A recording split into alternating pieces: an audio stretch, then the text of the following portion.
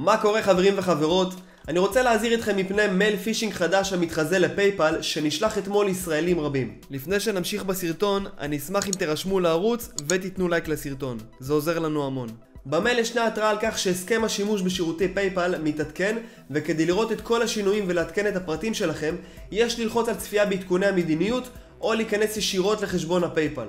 אם תלחצו על הקישור הזה אתם תגיעו לאתר מזויף שנראה בדיוק כמו דף ההתחברות של חשבון הפייפל ושם תצטרכו להקליד פרטים אישיים כמו כתובת המייל והסיסמה לחשבון הפייפל. אם תזינו את כל הפרטים הללו ותלחצו על התחברות, כל הפרטים יישלחו ישירות לתוקפים והם יוכלו לבצע רכישות או העברות כספים דרך חשבון הפייפל שלכם.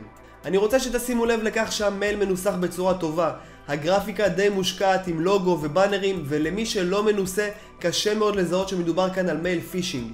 אם קיבלתם מייל כזה או אחר מאיזושהי חברה או שירות, אני ממליץ לכם לא ללחוץ על הקישור המופיע בהודעה, אלא להיכנס לחשבון שלכם באתר דרך הכתובת הרגילה של paypal.com או ebay.com או מכל חברה אחרת שממנה נשלח המייל.